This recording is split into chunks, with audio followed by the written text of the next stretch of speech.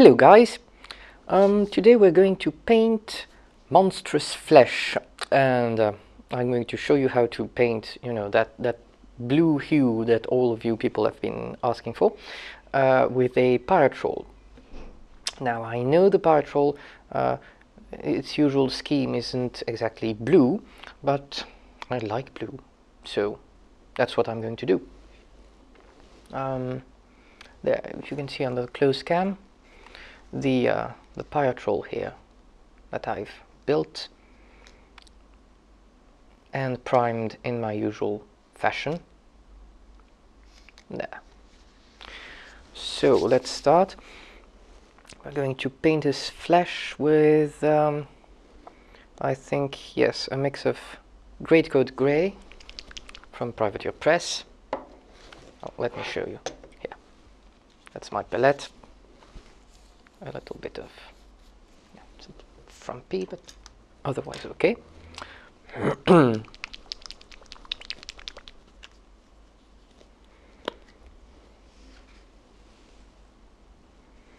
That's the Greatcoat Grey.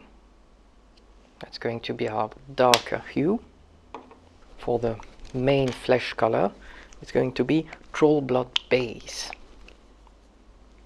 again a P3 Privateer Press color. It's quite, quite beautiful. There. Since this is a wet palette and colors do not dry very easily on it, I can afford to put on all the main colors I'm going to use, including the highlighting, which will only take place later on going to use this. Yes there is underbelly blue. A special troll blood color from Privateer Press which is quite beautiful in my opinion. Sort of a very bluish greenish gray almost water type gray. It is not too bad and this is Troll Blood Highlight which is a little warmer and gives your troll bloods this interesting mix of a cold skin color that still feels warm when you look at it. Still feels alive so to speak. See this is a warmer color. It is a little more yellow perhaps. There. Um, here I have a very scruffy brush. That's a number one brush. That's my old number one brush. I like it. You know, I use it for when I don't need any um, special treatment on a miniature. That's uh, that's what I use. Also good for dry brushing, that sort of thing. So I'm going to use uh, a bit of those two colors like that. Uh, uh, slight mix of the two for my base coat. Let's see. There. And as usual with this priming method, my base coat is pretty much a wash and we're going to do away with the flesh of that troll blood.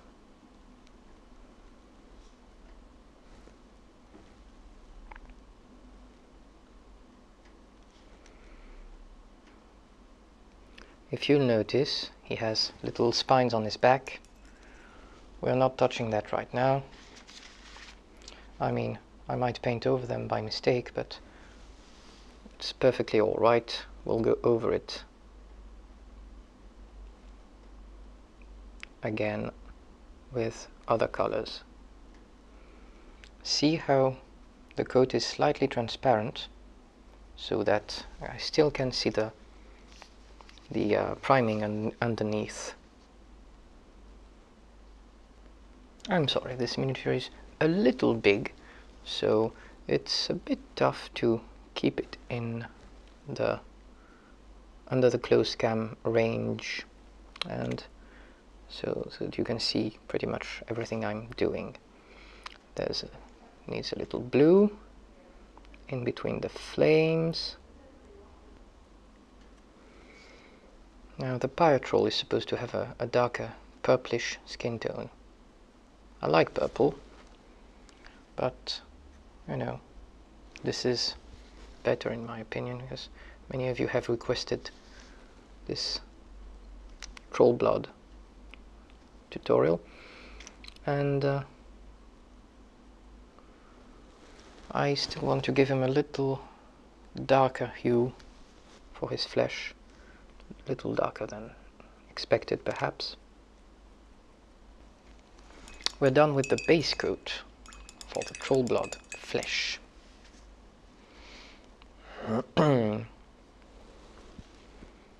Now I think we'll need yes. We'll use pure troll blood base to highlight it just a tad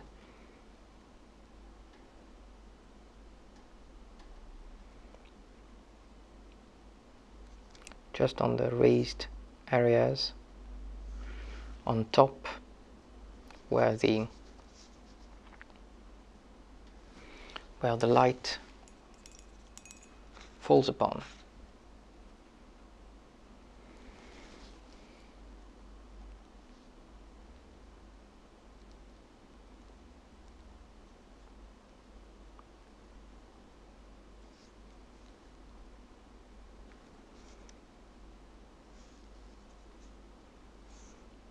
Yes, little on his neck there, a little on his face.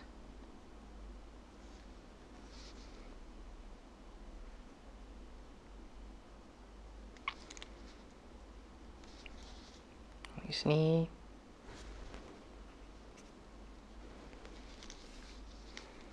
Perhaps here on his leg as it is a little more well lit than the rest.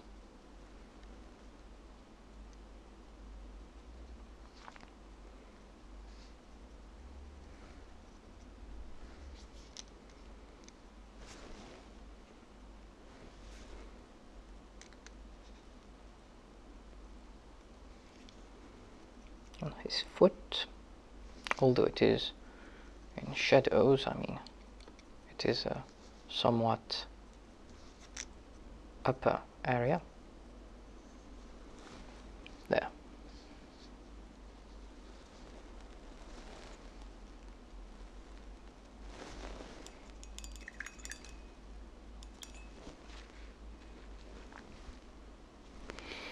Now as you can see the troll blood's flesh here.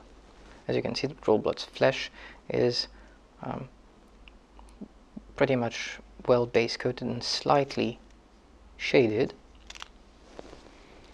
Now I'm going to mix here let me show you. I'm going to mix a little of this underbelly blue here with a little gray, the great coat gray, so that we can have a nice grayish color. And we'll use that for the belly quite obviously. A little too much paint on my brush but never mind. There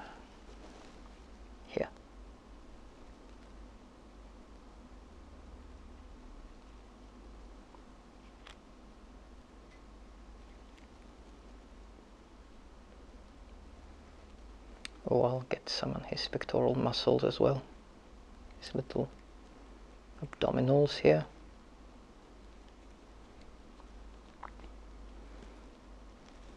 Yes, that's fine. Perhaps here, just under the bicep. And, mm, well, I guess perhaps a bit behind his legs. I'm guessing that uh, behind his legs that's also a bit white, a bit bluish, that sort of thing.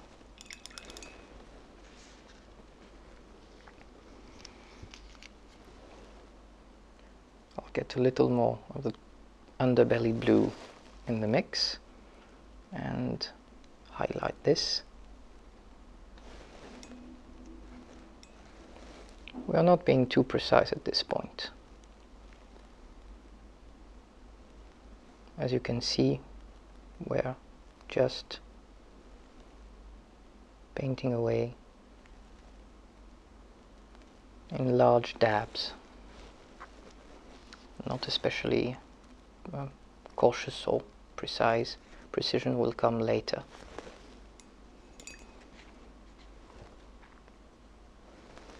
you see for monstrous skin you just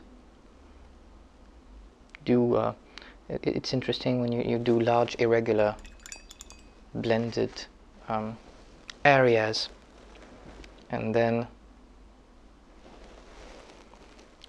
and only then you can detail stuff.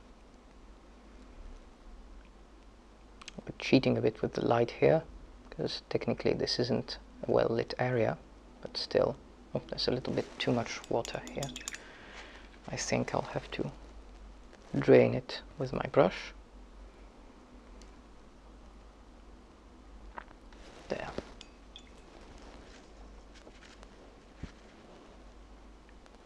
Never mind that. Still, his belly needs light. It's almost a dry brush, except it's wet, really.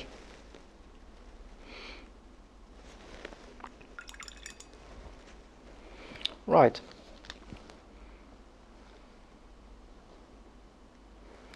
Now we're going to use, yeah, we'll, let it dry a little, just a tad. Okay, so now we're going to do a little shading with that very fine 3-0 brush because I'm going to have a little detail to shade that whole shebang. We're going to use this this this one this greatcoat gray here. So we're shading here in the recesses of the face. This is a wash, by the way, a thin wash, almost a glaze, that I am only pulling with my brush in the recesses and in, in the creases made by the muscles of this creature.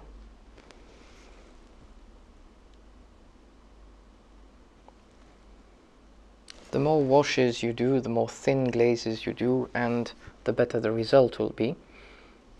I'm only going to do a few of those for the purpose of this tutorial, because otherwise it will take a tremendous amount of time. And this is just to show you the gist of what we can do. Here. I'm also shading the belly a bit.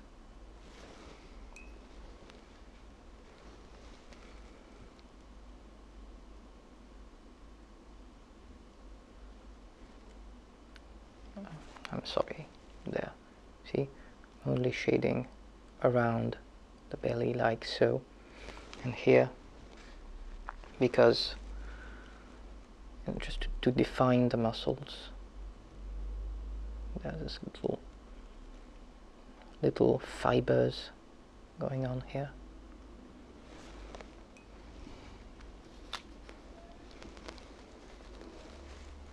And then there is shading to be done right there.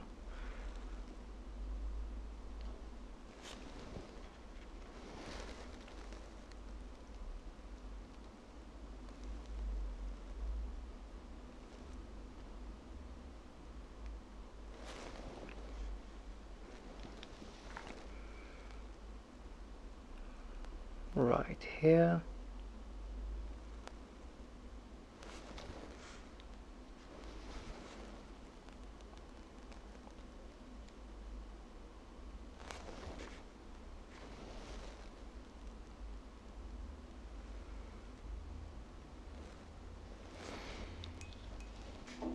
are lots of folds and creases in the muscles of his neck.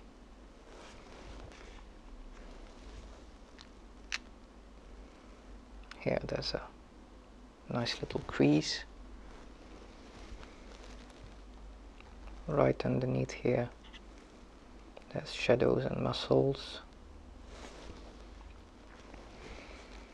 Here I'm going to delineate this muscle a little more just follow the the sculpting of the of the miniature you see? You don't really have to to think about it. Well you do have to think about it a little because you do have to mind where the light is coming from but then that's it really. That needs a little gray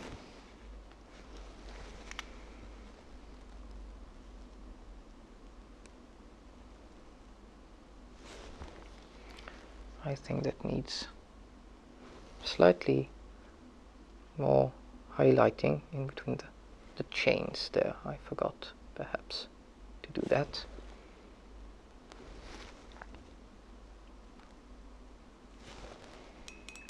Although we will sort that out later. Alright, still going on with the grey. Doing that leg.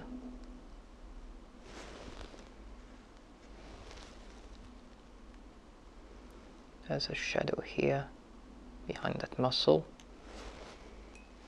I don't know if you can quite see that here. These are subtle glazes, not painting much, but it is noticeable. You do thin glazes over time, it builds up and voila, you get shade, shades blended in. That is how you do things. Yeah.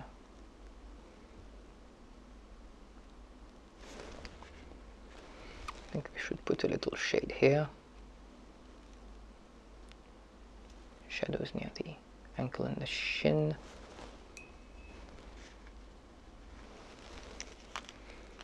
That foot needs shadowing.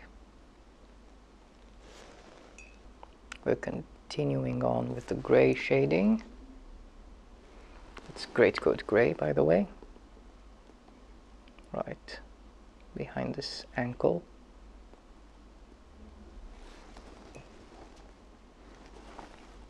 Little bit of grey on the foot. Just for show.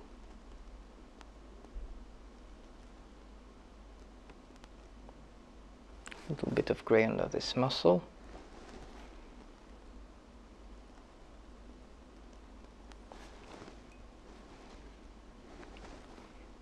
Just a tad here, because here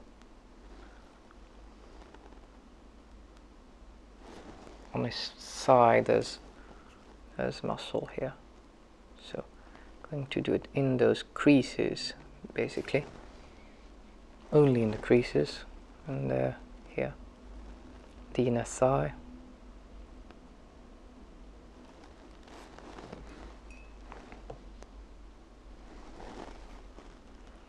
here there's lots of those creases here.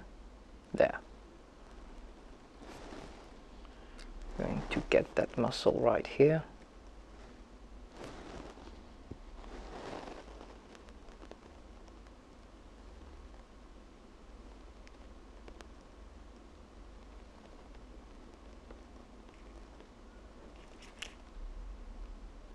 and here. There.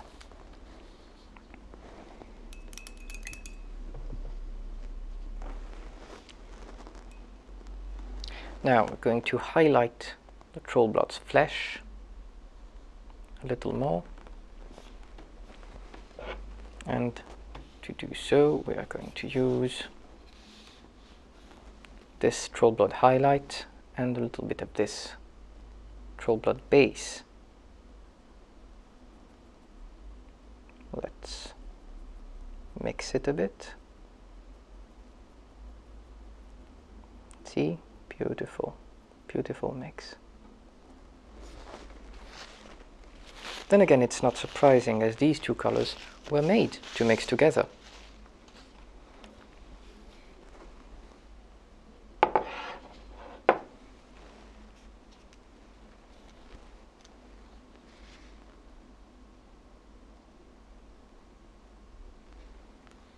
Now if you don't have any of those Privateer press colors, such as Troll Blood base or Troll Blood highlight and that sort of thing, um, although I do recommend that you get them because they're beautiful and they will get used for other projects of yours, not necessarily Troll Blood. You can get them uh, by fiddling a bit with uh, blue-gray, with a teal and perhaps cold grey. Fiddle about, experiment with mixes and you'll see you'll get there. As you can see now, I am highlighting the skin with a mix of Troll Blood base and Troll Blood highlight. It is slightly clearer I'm just putting some on the edges of the muscle where the light shines. There, on his neck, there's some light here. I'm using a somewhat dilute paint instead, uh, as opposed to a to pure pure pigments. I think we'll get some highlight here on his face carefully.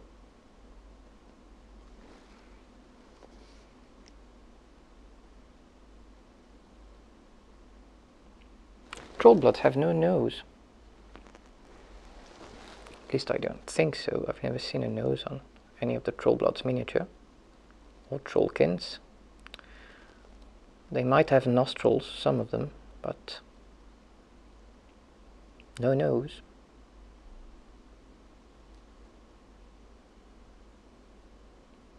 How do they smell? Do you ask? Presumably awful.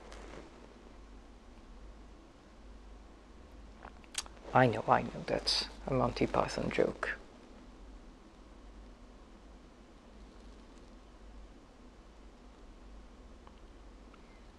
Uh, that needs more highlighting. Bit more, yes. Bit more.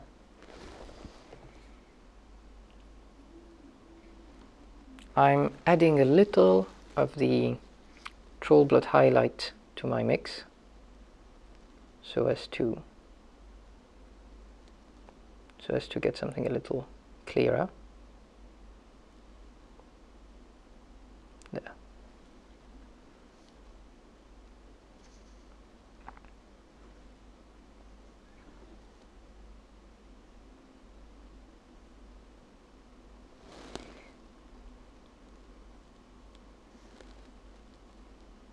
There. Much better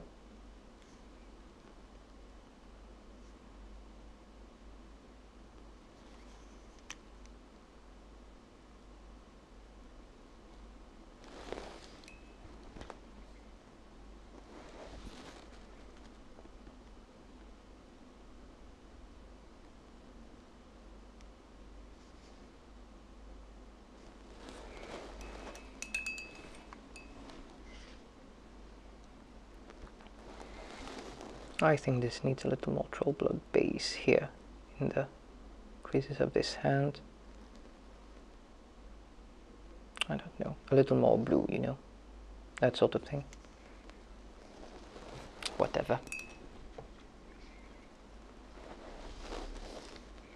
Here, a little more highlighting here on his cheeks, his eyebrows, his neck and always remember we're doing glazes, we're doing mixing, we're doing blending. So thin glazes, everyone, thin glazes.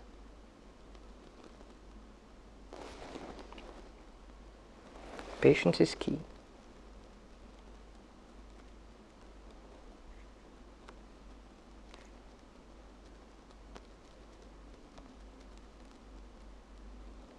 Patience and a fine brush.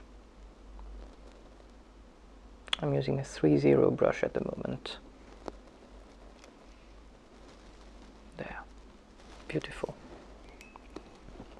And now for the legs. Here, I think the light shines a little here. Oof, that's a little bit too much paint, but never mind. We'll blend that right in.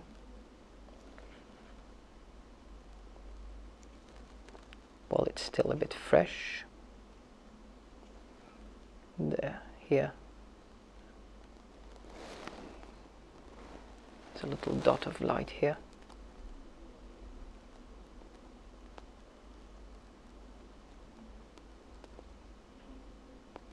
See, as it dries, it blends in.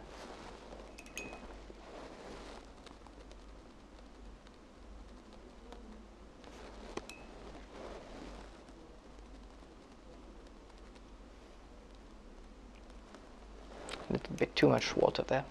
Never mind. Here. It's all better now. See? That leg the light is coming from behind it so it's highlighted that way the other leg is well pretty much the same except I do think there's a little bit more contrast so this needs to be in shadow that needs to be lit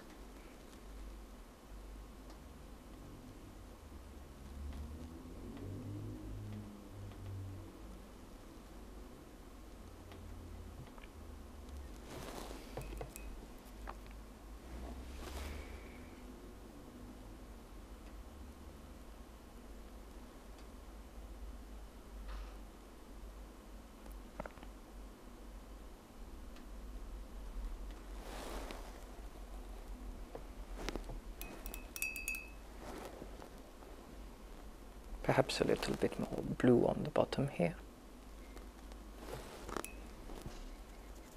Still a little bit more grey, just to blend this thing in here. There. Beautiful.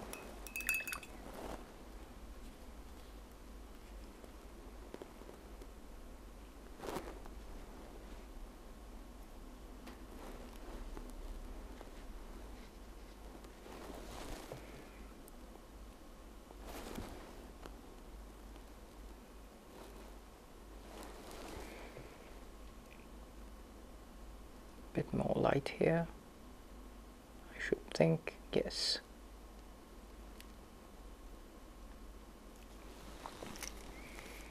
There. Now this in front well it's pretty much hidden but I think this needs a little light the knee there.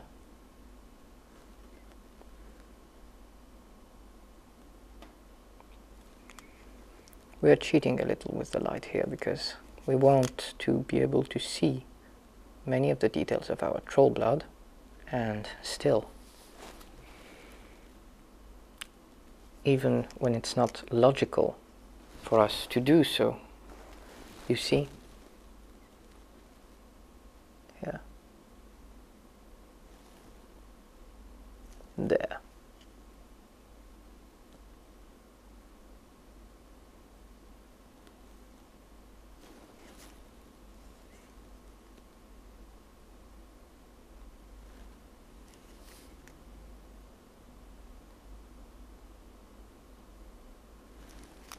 here a little more highlighting on the side of the jaw.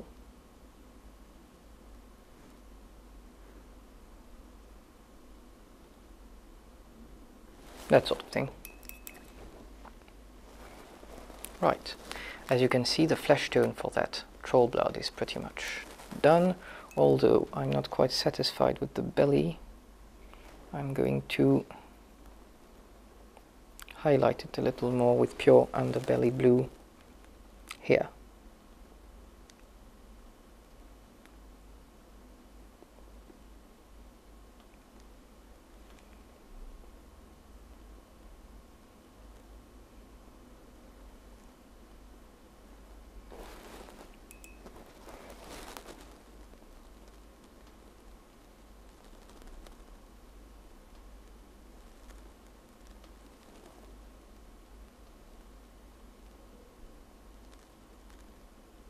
There. Better. Yes, much better. So here we have a sort of a darker trollish color. It's not too bad, I think. There.